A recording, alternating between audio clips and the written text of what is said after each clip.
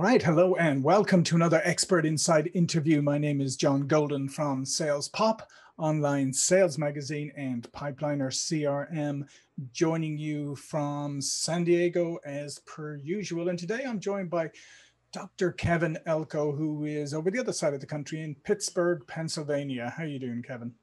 Good, but you look look you look warm and I feel cold. Does that tell you anything? I wish I was in San Diego with you, John.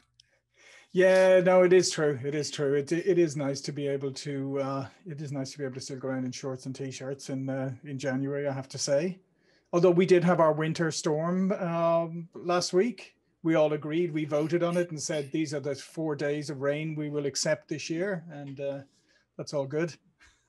well, we voted these are the four days we'll accept it, with it this year, but that vote was vetoed here in Pittsburgh. Yeah, absolutely. All right. Uh, so, um, uh, Dr. Kevin, he works with organizations uh, in the areas of leadership, goal setting, and various other motivational topics. You have worked with sports teams like the Philadelphia Eagles uh, and the Pittsburgh Steelers. I was actually going to say that. How did working with the Philadelphia Philadelphia Eagles go down with your neighbors in Pittsburgh?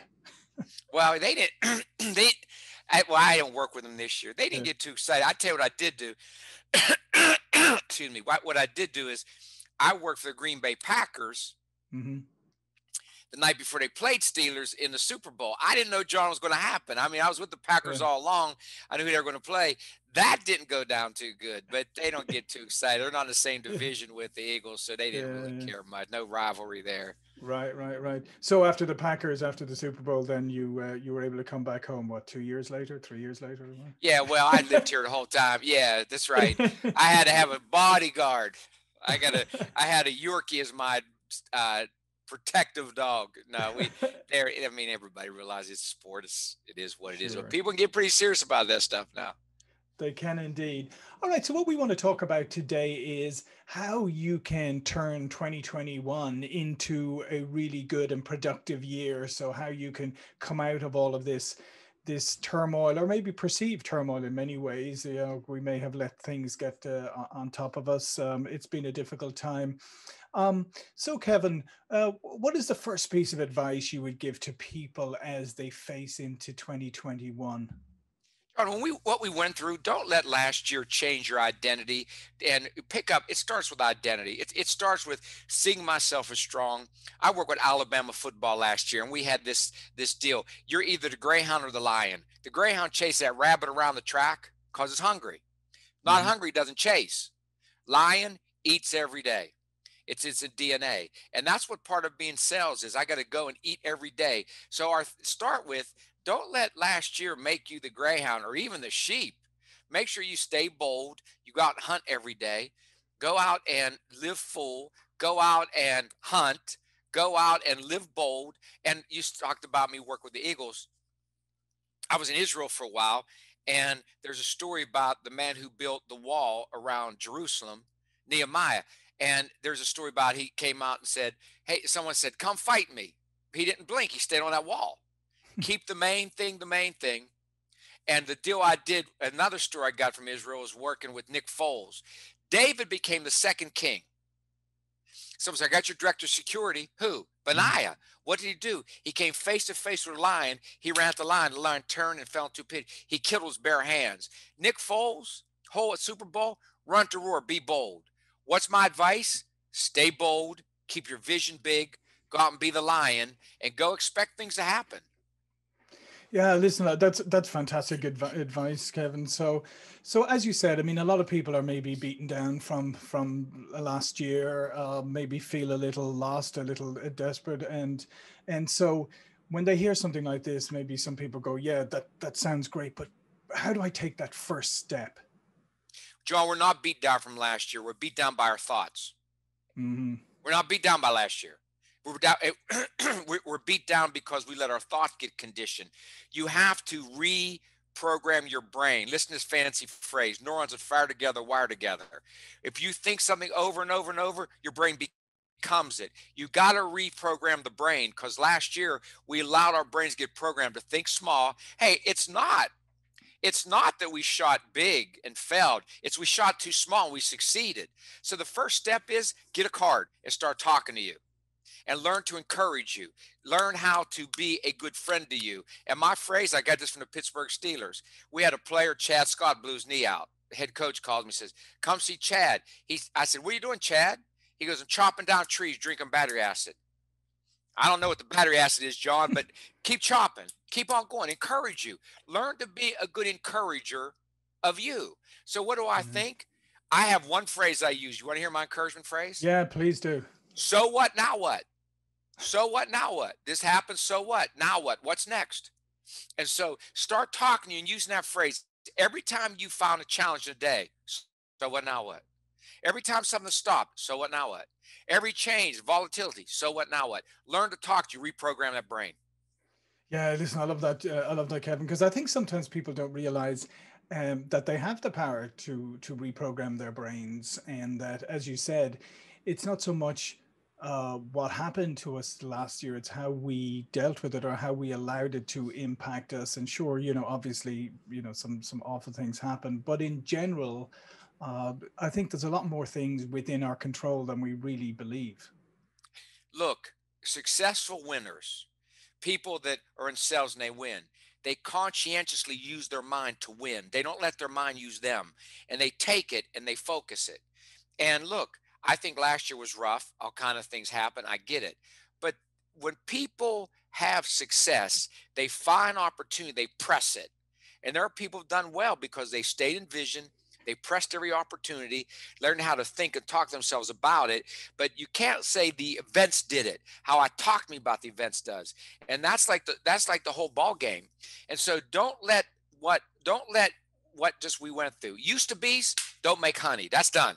Mm-hmm. So now program our brain because look, everybody kept saying, John, oh, I can't wait for 2021. Does 2021 seem less crazy to you than 2020? It's just no, no, it's, I, no, it's no, crazier. It was, I know it was great because everybody there was on, uh, you know, New Year's Eve going fantastic. It's all over tomorrow. The world is going to be a wonderful place. And guess what? It was, as you said, it wasn't just the same. It wasn't just as crazy. It was. It got crazier, and so you've got no choice. Don't wish it were easy. You got to get tougher. You got to learn how to use your mind. We have this deal, and we do this deal called um, the 14 different challenges and I'm going to reveal one of them right here. Nitty gritty mm-hmm. goals. Here's how you win.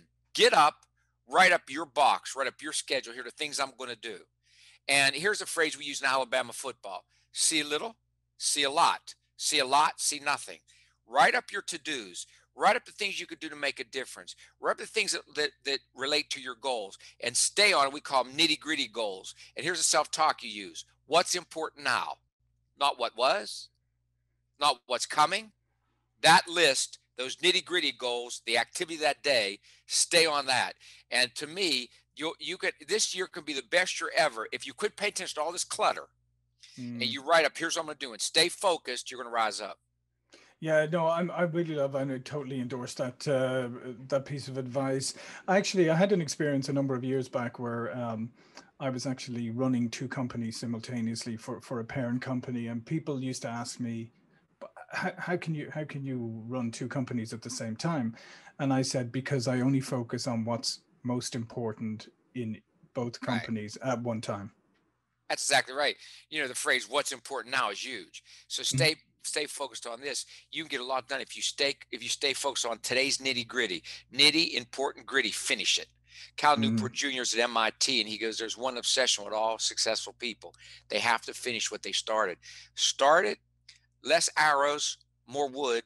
Here's the few things I'm going to do today. Prioritize them, stay on it. You'll be fine. Yeah. Pay, quit paying attention to those clutter. Yeah, and interestingly, uh, there is there's some research around the fact that if you actually physically write down your to-do list and physically cross them off, you're more likely to to actually complete those tasks than if you are to just electronically record them.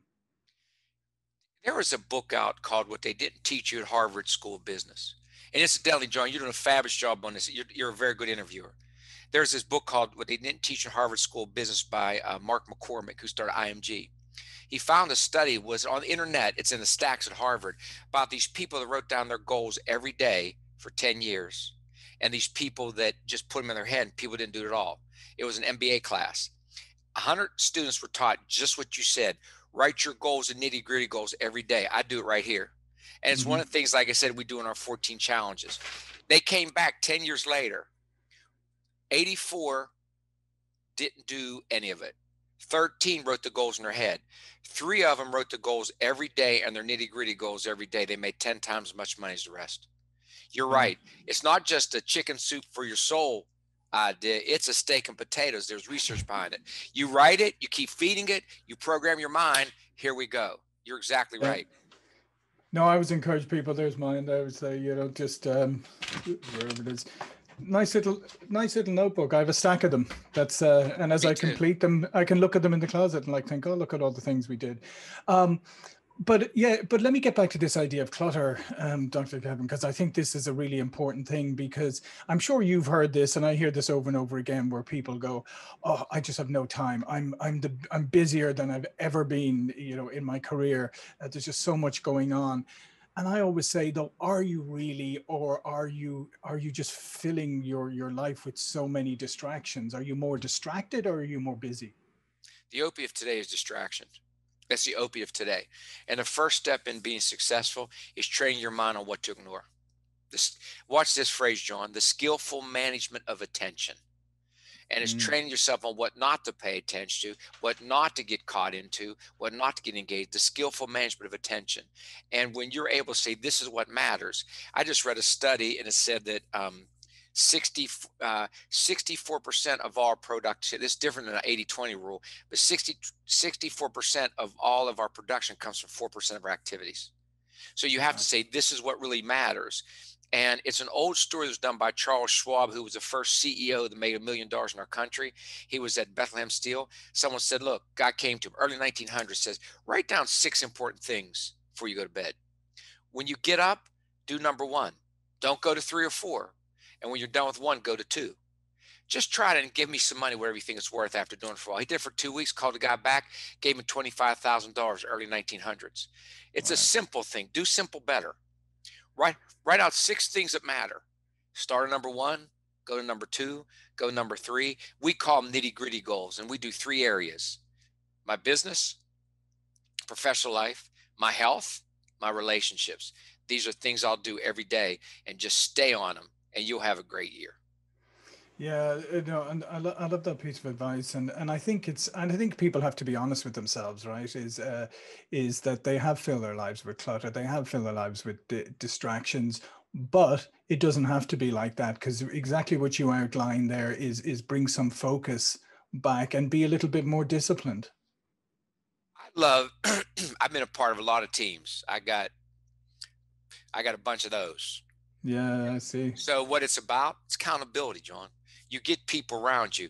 When I work a lot in the financial industry, and again in our 14 challenges, we say write up your nitty gritty goals, but share them. And there's a, a, Deloitte study says when your daily goals are transparent, like if you and I are going to say, hey, we're going to get our bodies healthier. And so here's what I'm going to do today. What are you going to do? And we shared it with each other beginning of the day. Our attention goes on that. So if we can just say, look, I'm going to, here's the things I'm going to do here's the things I'm going to do in business. And we just share them. At the end of the day, we come back and say, to what degree did I do them? Boom. Yeah. Boom. So no, I, it comes down to accountability. You know, I, I, am a big believer in that, and because I think, because uh, let's face it, as humans, we're hardwired to give ourselves get out of jail cards and uh, yeah. and to come up with excuses why we couldn't do something. But when we, as you said, when we share it, when there's somebody else there, we've all we already feel an obligation, um, even if they're not even saying anything. So we we want to come back to them and say, oh, by the way, I completed that. Exactly, and it keeps us alert. You're exactly right. Yeah, um, and how do you? Uh, what would you say to? What would you say to to people who maybe need just that extra kind of pickup, right? You know, where they, you know, maybe they had some experiences last year that didn't work well, whatever, and but now they're they're faced in into the new year, and what what pep talk would you just give them to to, to really just grab onto this year? John, don't think your way into acting. Act your way into thinking. Don't think your way into acting. Act your way into thinking you know, because we get addicted to motivation because we're making a huge mistake. We think motivation is a feeling. So you're saying, so the person saying, I don't feel like, it. of course you don't feel like it. But winning is a choice. The mother of all motivation is a choice. So I know there's these motivational speakers. Let's get fired up. Let's get mm-hmm. going. Well, you know what? You're not always going to be fired up. It's not right. It's not natural. It's not human. So here's what I would say to you don't think your way into acting. Don't wait till you're going to feel it. I work in NFL, guys making millions of dollars. I'm not feeling it. You're not feeling it? You make, you make $5 million. I ain't feeling it. What is that? And what you do is you act your way into feeling it. You go do it. Go do what you're doing. Your feelings will catch you. And just go start. You know, uh, my my my daughter wasn't feeling good yesterday, and she's I don't know if I don't work out. I go, just start it. Just start it. Just just go do it. Even if you, you don't, John, you don't always have to feel something. If every time you feel like leaving a relationship, you're gonna be married about 30 times. You know, because I tell people all the time, the person you date's not the person you marry. You date their representative. you know, if every time you don't feel like picking up the call and doing sales, you're not going to pick up the call. Uh-huh. Quit, quit letting your feet. We have feelings. No, I'm not confusing feelings with emotions. You should get fired up, but we do this thing in Alabama football. Even your emotions are a choice. Choose to have energy. Choose to be fired up. Act it until it becomes. But go, go, just, just go decide. I'm going to be fired up. You got me fired up now.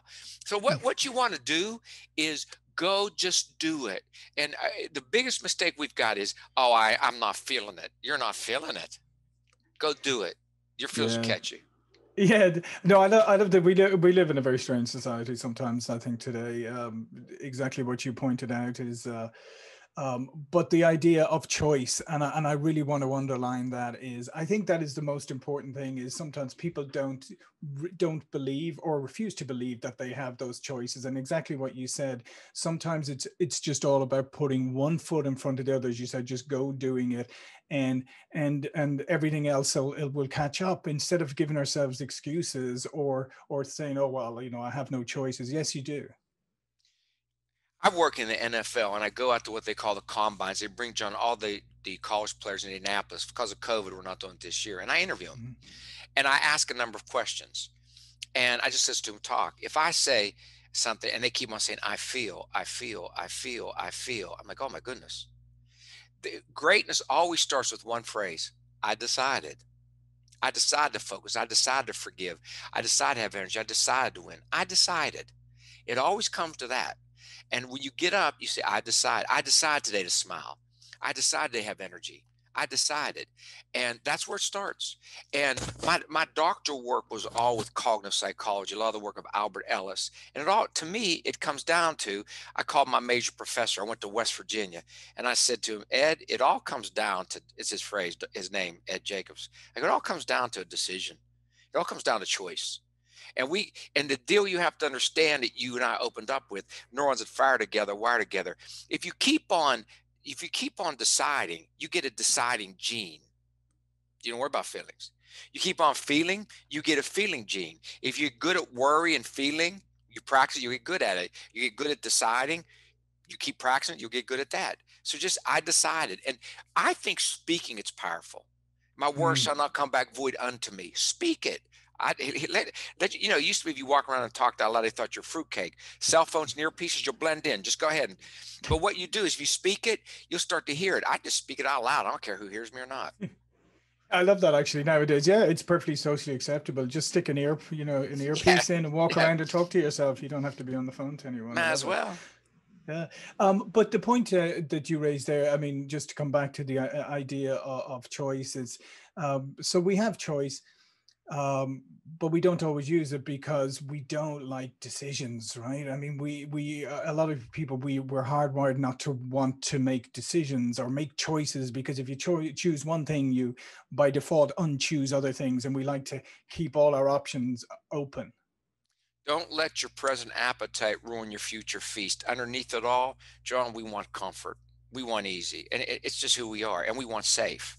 We're not wired to win. We're wired to be safe and so, really, I say this all the time: the the amateur has a thousand different plans. They're all going to start tomorrow. And what we do is it's it, it, you're not wrong if you're negative or you want to rest and you want comfort. It's almost mm-hmm. natural. What we're doing is to be extraordinary to be supernatural to be super ordinary and to do that you need to reprogram your brain. It's a natural pull to stop quit take it easy put your feet up but you have to train through it. So our present appetite is comfort stop ease but you're going to destroy your future feast and mm. so when you get the urge, learn how to, so what, now what? Keep chopping. Learn how to teach you to move through urges, you know, and keep on going through them. And just because you got an urge, so what? So you got an urge to quit. You got an urge to stop. You know, you got an urge to sit down and eat a whole pie. I don't know. That doesn't mean you have to honor the urge. So yeah. train your mind to keep working and keep focused, have the eye of the lion. And so I think that you get the urges. So what? You got an urge got an urge. Mm-hmm. Learn to train your mind to work through it. But you're exactly right. Our feeling, I feel like quitting, I feel like resting, I feel like chilling, I feel like drinking. Okay, but I'm gonna decide not to. Yeah, and and unfortunately, uh, you know, we live in this culture, the pervasive culture of where everything is supposed to be easy, uh, you know, shortcuts to everything. There's no, you know, there's it's almost like hard work is. uh, has become anathema to to many people, and I think that's where the challenge comes is that you have to push aside, as you said, like push aside all these distractions, push aside the messages that the pervasive culture is, is sending you and realize that everything worth doing, I mean, you have to apply yourself. And as you said, you're going to get urges. You're going to have times when you want to quit. It's going to be hard. You're going to, you're not going to enjoy it all the time, right? You know, when I was growing up, there was a phrase: "If it feels good, do it." What kind of phrase is that? if you feel good, if you feel good, do it. That was a that they had poster. If you feel good, do it. You know, and now you turn on infomercials. You know, drink this lotion when you go to bed, and you'll lose fifty pounds. Yeah, because you'll be dead in the morning. I mean, you know, everything. you right. The easy, the simple, the you know, that's the infomercial thing.